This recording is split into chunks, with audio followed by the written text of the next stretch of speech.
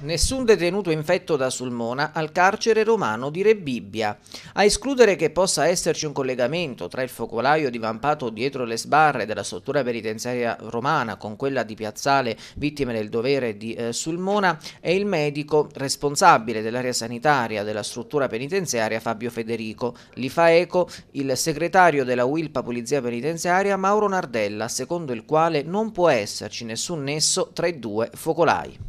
Mi dispiace essere venuto a conoscenza del fatto che il garante delle persone sottoposte a misure restrittive della libertà della Regione Lazio abbia identificato nei trasferimenti dei detenuti uh, dal carcere di Summona a, a quello di Roma Rebibbia la causa dell'accensione di un focolaio proprio presso quest'ultima struttura.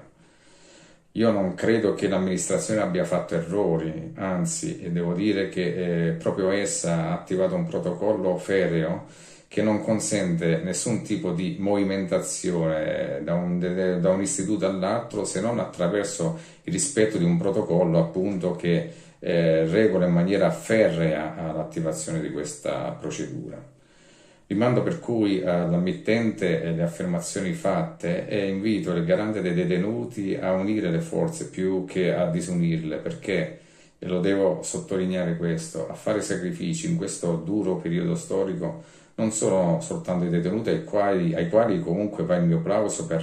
l'atteggiamento che stanno ponendo in essere, ma anche e soprattutto al personale che quotidianamente viene chiamato a svolgere eh, turni massacranti, malgrado sappiano di poter contrarre il Covid da un momento all'altro.